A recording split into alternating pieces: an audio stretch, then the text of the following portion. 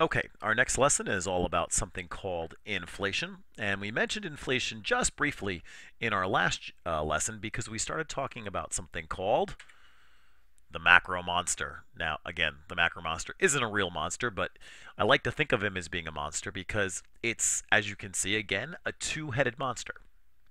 And it's made up of two big problems unemployment and this thing called inflation. Now, in our last lesson, we learned about unemployment. And we decided that we need to know our enemy very well before we can actually go and fight inflation and unemployment. So we already learned about unemployment. Today, we're going to spend some time talking about the other half of the macro monster, inflation. And again, what is the macro monster keeping us from? This this term we learned about in our last unit called full employment. All right. Now what we're not going to do today is we're not going to talk about why inflation occurs, just like we didn't talk about why unemployment occurs.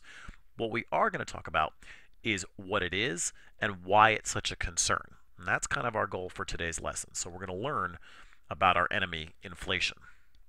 To do that, we need some basic information, including a definition. The definition is very simple. Inflation is a general rise in prices. Uh, and I always think of this McDonald's as a good example, right? Clearly, uh, this is a picture taken from back in the 1950s or the 1960s when hamburgers were 15 cents it would be very hard to find a hamburger today for 15 cents. In fact, I think you'd be uh, a little suspicious of that hamburger if you did find one for 15 cents. So, inflation is a general rise in prices. The reason that hamburgers today are no longer 15 cents, they're quite a bit more, is because of inflation. Now, just quickly, I will mention the opposite of inflation, deflation, which is a general decrease in prices, though generally we don't talk about deflation nearly as much, um, mostly because deflation uh, doesn't occur as often. Inflation is normally the thing that we worry about. Uh, and is most much much more common. So we'll stick with inflation for right now. And again, what is inflation? A general rise in prices. And there's a couple ways to think about it. We can either say that something that used to cost a dollar, 15 cents, now costs a dollar, but another way to think about it would be this. You used to be able to buy five cheap cheeseburgers for a dollar. Now you can only buy one. In other words, your dollar doesn't buy as much as it used to buy. That's what occurs when inflation occurs. All right? Now, why do we worry about inflation? Well, there's a couple reasons. The first one was is something what I just mentioned a minute ago, which is that the value of the dollar is worth less your money doesn't buy as much as it used to when inflation occurs. And that creates uncertainty for people.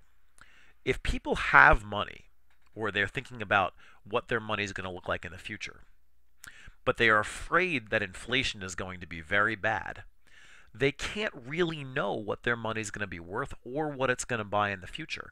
And therefore, it's very, very difficult to make decisions. And as we know, economists like to have information when they make decisions. They want people to be able to have as much information as possible. Inflation destroys information about the future. We don't know what things will be worth if we're concerned inflation is going to happen. And in the worst case scenarios, what you can see here these two pictures are famous examples of what we call hyperinflation, where uh, the one picture on the left there happens to be Germany during the 1920s. Money inflation was so bad and money was worth so little that literally children would start picking it up and making uh, making toys out of it as they're stacking them like blocks. And picture here on the on the right is a gentleman actually sweeping the money off the street. That's how little it was worth by this point. Um, we hopefully will never experience inflation uh, in this country at that great a level. But even smaller versions of this can be a real problem for people because they simply don't know what their money is going to be worth. And one of the things it does is it destroys savings. Anybody who has money, if inflation occurs, that money is worth less. So if you've spent your entire life saving thousands and thousands of dollars, and all of a sudden terrible inflation occurs, that $1,000 isn't worth nearly as much as you thought it was going to be. So, for all of these reasons, economists worry a great deal about inflation. Specifically, who's hurt by inflation? Well, simply put, anyone who has money. If you have money and inflation occurs, your money is simply worth less. So that obviously includes people who have savings. If you've saved a lot of money and inflation occurs, that savings will not buy as much as it would have when you first put it into the bank. That's not a good thing. Now, hopefully, in most cases, people try to get interest on their savings to make up for some of that inflation. But the reality is, if the inflation went too fast and their interest didn't keep up with it, their money would be worth less. That's also why banks are so concerned about money because what do banks do? They loan money to people. And think of it this way if you got a loan from someone, suppose that you gave, a bank gave someone a $100 loan. Well, the bank gave them a $100 loan and said, you have to pay it back in five years. Well, if in that five years a tremendous amount of inflation occurred, or even a small amount of inflation occurred for that matter, that $100 wouldn't be worth as much as it was when the bank gave it out in the first place. So when they got it back, yes, they would get $100 back, but it wouldn't be worth as much. Again, obviously, banks charge interest for loans partly to make up for that fact. But if more inflation occurred than they thought was going to occur, the bank would be getting money back that was worth much less, and that wouldn't work out well for the bank. Um, people who are on fixed incomes, if you get, uh, for example, if maybe if you're on a pension from your job uh, after you retire, and every month you get a check for maybe $1,000 to live on, well, every time inflation occurs, that $1,000 buys less and less and less. This is also a concern for people who have contracts that they've saw, signed for a long time period. And why would that be? Well, if you think about it, if suppose somebody uh, signed on for a new job and decided to sign a five-year contract, well, they kind of have to guess what inflation is going to be five years down the road because they have to decide now how much money they want to agree to for this job. If they agree, to a certain amount of money five years down the road, but during that five years a lot of inflation occurs, that money is worth less than it would have been if that inflation didn't occur. So people who sign contracts for a long period of time have to take guesses about inflation.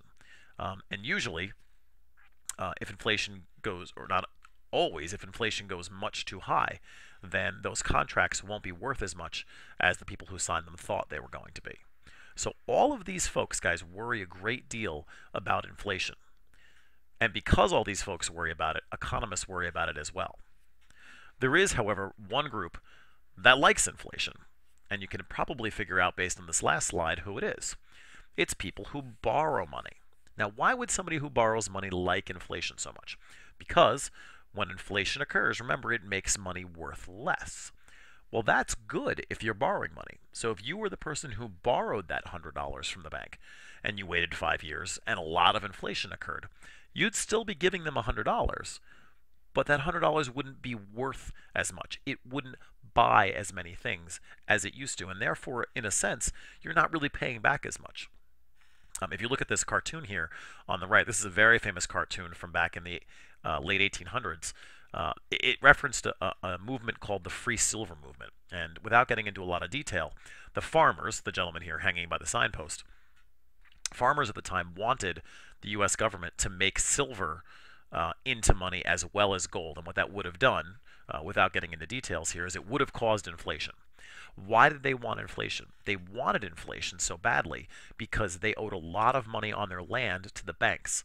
And they knew, they knew that if they could cause inflation, then what they would be paying back to the banks would be worth much, much less. Um, by the way, as it turns out, that movement didn't work out. And you can see the farmer got left hanging. But this is why, again, banks worry about inflation, and people who owe money uh, are actually helped by inflation. So, for example, if you owed a credit card uh, bill and inflation occurred from the time that you borrowed the money to the time you paid it back, you'd actually be paying back less. So most people in our situation here are hurt by inflation, but anybody who borrows money, being the big exception, is actually helped. All right, now we need to know two terms. You keep hearing me say something like, yes, you still pay the $100 back, but it's not worth as much. It seems like we should have some terms for that, and of course we do. So let's get some of these terms down. The first one we want to learn is what's called the nominal value. The nominal value is the actual value of the currency. So if I get a $100 loan and I pay back that $100, The nominal value is $100. Okay, if I have a dollar bill that says a dollar on it, the nominal value is a dollar. The nominal value is the actual value printed on the money. That's the actual amount. Okay? There's a distinction between nominal values and real values. In nominal values, $5 is equal to $5. But a real value, which is the one we're going to focus on, the real value is the amount of goods and services that a currency can buy you. So if we're talking about real values, I wouldn't say that $5 equals $5. What I would say is, for example, $5 maybe equals two gallons of gasoline. That's a much more real thing. I know that $5 at that moment in time can buy me two gallons of gasoline. And if in the future that $5 can't buy me that much gasoline, I know that inflation has occurred. Even though that $5 still looks the same, I know it's not worth as much. So, for example, if inflation happens, nominally, $5 is still equal to $5. That, that amount hasn't changed. But really, the real value of that $5 is only one gallon of gasoline. It's not worth as much. And so I know that inflation has occurred. What do economists want to know about? We want to know about real values. We want to know about real values because what we assume is that a gallon of gasoline, a real thing, is going to be worth the same to somebody in the 1980s as it is in, in 2000. The price may have changed because the nominal value has changed, but that thing is still worth the same amount. So if we're going to compare from year to year to year to year, we want to look at real values, things that are consistent across time. And maybe a, an example with a chart will help explain why the distinction between these two things and why they're important. Okay, here's an example of nominal oil prices and real oil prices since the 1970s. Now, you often heard in the news uh, around 2006 that oil prices had hit the highest they'd ever hit, ever. Well, in one sense, that was actually true. Um, as you can see from the chart in 2006, the price of a barrel of oil was $60, and it had never been that high before. So, in a sense, that's true. But I guarantee you, if you ask somebody who lived in the 1970s, they would say, yeah, the gasoline technically cost $60 a barrel, but it doesn't seem as expensive as it did back in the 1970s. And it turns out they'd be right. Because look back to the 1970s. Well, actually, before we do that, look at 2006 real value. The real value of it was only about 32 or 33 dollars a barrel. And if I slide all the way back to the 1970s, you'll notice that at its peak, the, the highest real value, the gray line, oil cost more, $40 a barrel, in the late 1970s, early 80s, than it did in 2006. And if you ask someone who lived then, like I said, they would tell you it felt more expensive in the 1970s. Why? Because, yeah, the actual amount on your dollar was higher, but that dollar was worth more. So when you gave it away for your gasoline in the 1970s, you were giving up a lot more than you were give, when you gave it away in 2006.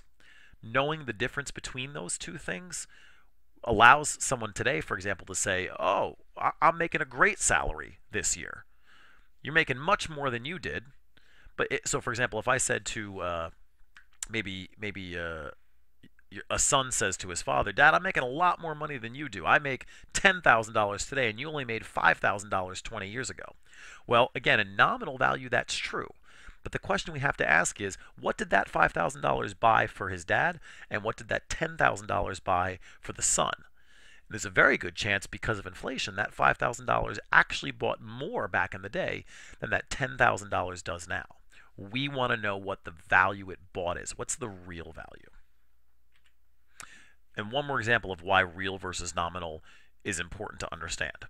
Take a look at movies. Now, if somebody wanted to claim what's the highest selling movie of all time, they could obviously conclude that it was Avatar.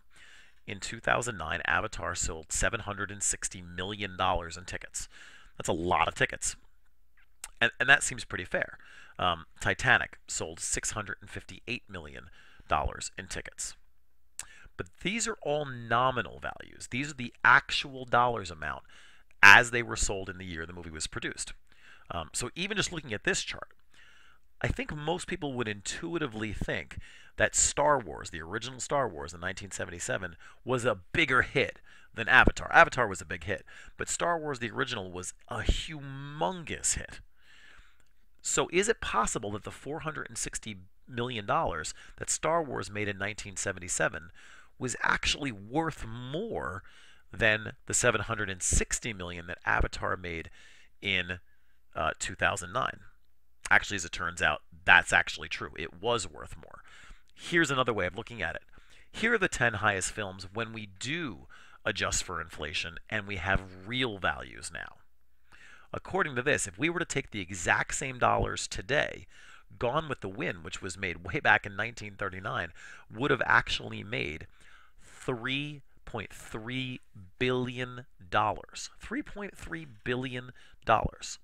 Now, Avatar also would have made a lot of money, 2.7 billion dollars, but it turns out Gone with the Wind is actually was actually a bigger hit, had more value in the money that it made uh, than Avatar was. Um, and actually, Titanic, as you can see, uh, slides down a little bit in the overall rank. And as we said, no big surprise, Star Wars jumps way up. It's almost equal to what Avatar was. So this is why it's important. And, and if we think about it, which one really makes more sense to us? We know for on the right that Gone with the Wind, Star Wars, The Sound of Music, those were all the biggest movies in history. Nominally, they don't look like that. But once we factor in inflation, then we can say, really, these are the values we want to know. So the lesson here, folks, is anytime we have nominal values in this class, we're going to try to turn them into real values. In our next lesson, we'll learn how to do that.